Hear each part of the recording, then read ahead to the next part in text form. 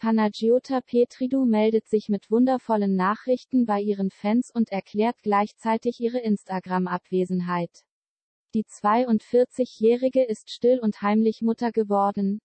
Panagiota Petridou, 42, ist im Februar Mutter geworden. Das verkündet die Entertainerin mit einer außergewöhnlichen Videobotschaft auf Instagram.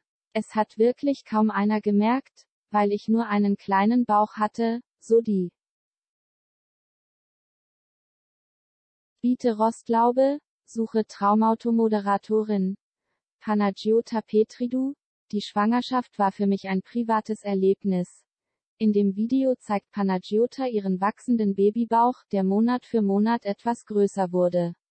Während in den ersten Monaten wirklich niemand hätte erahnen können, dass ein kleines Wunder heranwächst, kaschierte die Moderatorin den Bauch in den letzten Monaten durch weite Blusen und Pullover. Weshalb die Geheimniskrämerei? Die Schwangerschaft war für mich ein privates Erlebnis, was ich für euch aber nun kurz zusammengefasst habe, erklärt die 42-Jährige.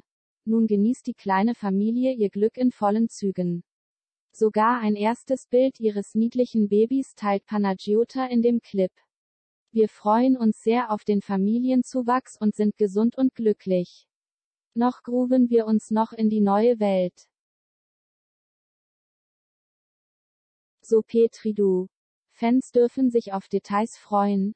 Obwohl die sympathische Moderatorin ihre Schwangerschaft geheim hielt, müssen Fans dennoch nicht auf süße Details über den Nachwuchs verzichten.